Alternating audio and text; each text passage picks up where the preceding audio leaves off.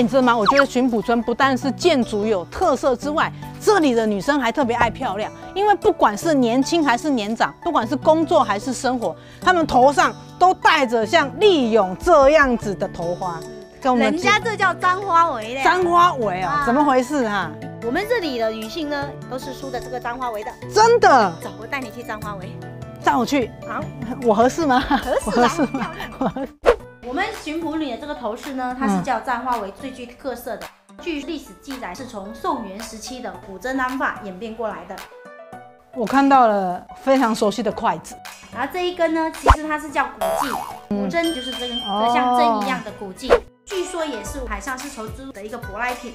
安发呢，就是现在你看我以前巡捕女，她们从小就留长头发嘛，对，嗯，然后呢，呃，梳成一条长长的，然后呢，再给它盘起来，就安进去，安上去就叫古筝安发。哦，哎，给它盘起来，盘进去，那一圈一圈，哦，一圈一圈的，再把这个古筝给插进去，给它安进去，插进去就叫古筝安发。哦哦。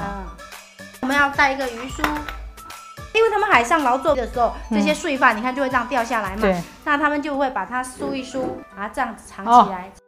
然后现在我们就带花，那我们今天带的是绢花，年轻人比较爱漂亮，三到四圈。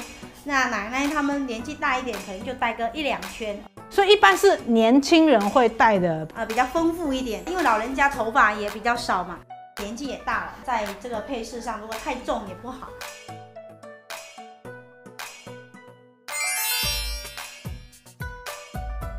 巡捕女，科科座，古民居，老建筑。